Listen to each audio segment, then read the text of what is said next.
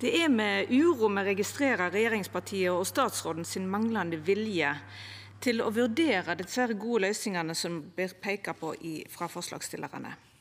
Dette handlar ikkje berre om den enkelte arbeidstakar frå land utanfor EU sine moglegheiter til å få jobb her i landet, men det handlar om norske arbeidsplassar og vår tryggleik. Kvifor seier eg det? Jo, eg skal prøva å vera konkret og gje eit døme frå bilbransjen. Der er det stor mangel på dyktige mekanikarar. Den norske marknaden er støvsuga. Berre kannibalisme innan bransjen er mogleg.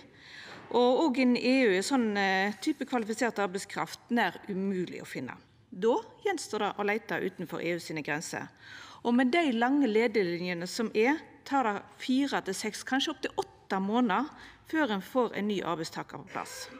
Eller nei, vedkomande kom aldri på plass fordi andre land nyttar høvet til å tilsetja ein ny medarbeider. For Kvifor skulle han setja seg ned og venta på å få reisa til Noreg når andre så tydeleg viser at det er trong for han, og det er oppretta ekspresslinjer for å få desse på plass? Så Kva betyr dette for den aktuelle bilverkstaden? Jo, lærlingen de har, må truleg slutta, for de manglar kapasitet til å følgja han opp. Og Dette er ein ungdom som kunne blitt ein kvalifisert arbeidstakar om et par år.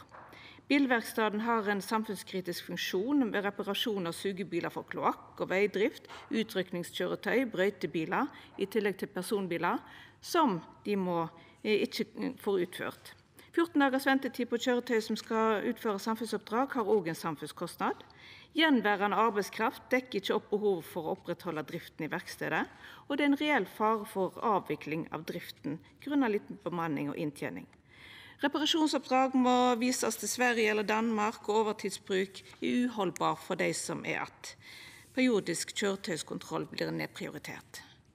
På gjentekne spørsmål til statsråden viser ein til at ein har tillit til systemet, og at ei betring er like om hjørnet. Det er ikkje det.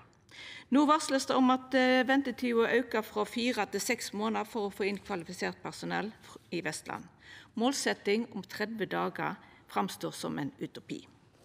Dette set norske arbeidsplassar og tryggleiken for våre innbyggjarar i fare.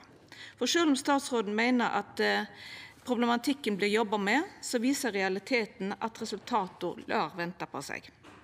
Det betyr at det må betre politisk styring til for å få til gode løysingar. Om ein ikkje gjer det, vert det ei oppskrift på nedlegging av norske arbeidsplassar og avvikling av lærlingordninga for yrke me så sårt treng i framtida. Dette er realiteten der ute.